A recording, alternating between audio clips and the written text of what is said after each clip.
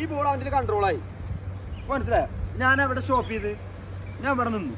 Ball അവന്റെ അവിടെ control ആയപ്പോൾ ഞാൻ ഇവിടെ നിന്നു. ഞാൻ ഇപ്പം ഇങ്ങോട്ട് അടുത്ത് ഓടിപ്പോയി. അവന്റെ കൺട്രോളിലാട്ട ബോൾ അപ്പോൾ അവൻ എന്ത് ചെയ്യുക അവന് ബീറ്റ് ചെയ്യും. കാരണം ഞാൻ കാണിച്ചു തരാം. ഇപ്പോൾ ഈ ബോളിന് ഞാൻ ഒരിക്കലും സ്റ്റോപ്പ് ആവാതെ നേരെ പോയി കയറരുത് ഞാൻ ഇപ്പം ഇങ്ങനെ കൊടുത്തിട്ട് ഇങ്ങനെ പോയാൽ കണ്ട? ഇതാണ് അവിടെ സംഭവിക്കാൻ പോകുന്നത്. കാരണം അവ ആ ബോൾ അവന്റെ കൺട്രോളിൽ ആ ബോൾ നിർത്തിയാവും. അപ്പൊ നമ്മളിവിടെ സ്റ്റോപ്പ് ചെയ്യാം. ബോൾ തന്നോ